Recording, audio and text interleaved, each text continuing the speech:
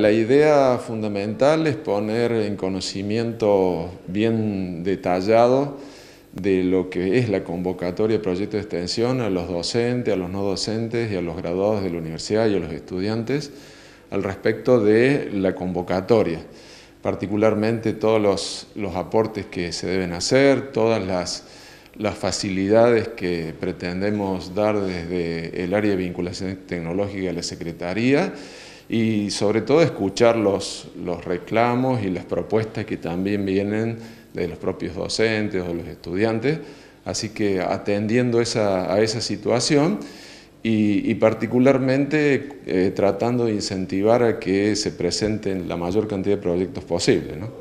Justamente, ¿cuáles son los aspectos más importantes de esta nueva convocatoria? Los aspectos más importantes son, bueno, primero la convocatoria es una convocatoria de 2 millones de pesos en total, eh, va a tener la posibilidad de financiar hasta 100 mil pesos por proyecto, o sea que esperamos financiar mínimo 20 proyectos.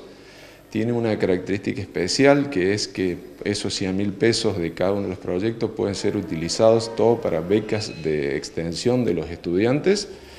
Eh, tiene la característica que puede ser de tres meses de duración hasta ocho meses de duración.